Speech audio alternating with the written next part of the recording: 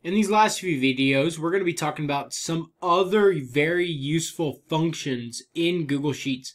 So let's think about what is the purpose of Google Sheets. What what are we what are we trying to use it for? Well, we're trying to make it do the work for us. To go through a lot of those monotonous processes and actually do the work for us. And one of those functions is the split function. So if we want to, or if we have, for example, a set of data that we want to split up uh, maybe it's somebody's typing in their name first and last name into one column and we want it split up into two columns. We can actually use this split function. So let's see how it works. So we're going to say equals split and then it brings up this um, or the information on the split. So it's asking what is the text and what is that delimiter. So a delimiter is that particular uh, aspect that we want to split it up by. That's the separator. So let's see how this works. Our text is our names. So I want to split that text.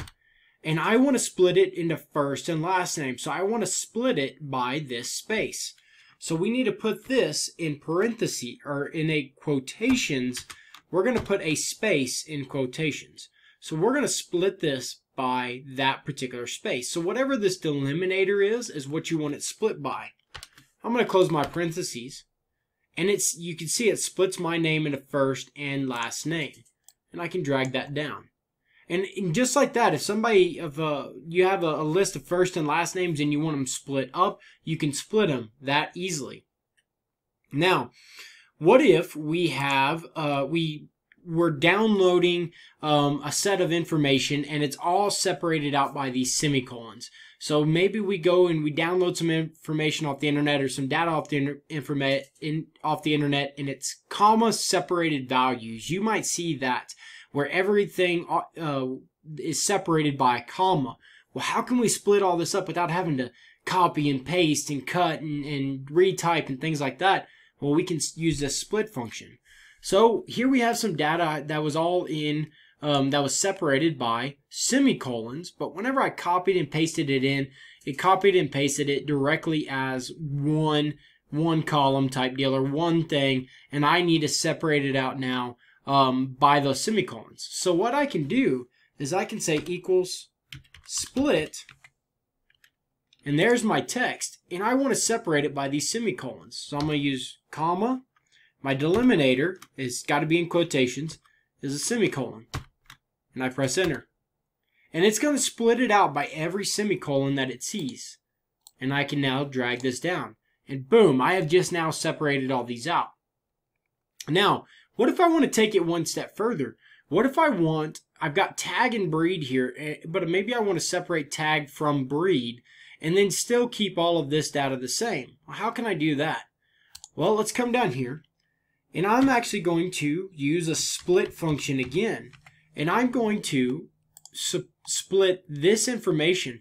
But you can see there's a space in between the number and the breed. So I'm actually going to split this value right here by a space. And then I can just drag that down. Now, what do I do over here? Because I can't really say split anymore, but I want to get this same information down here. Well, that's relatively simple. We're just going to use direct cell referencing. We're going to say that this one equals this G3, that the pasture, uh, pasture 2 equals that one. And ask me, do I want to autofill? Well, I'm not going to go ahead and I'm not going to autofill it yet.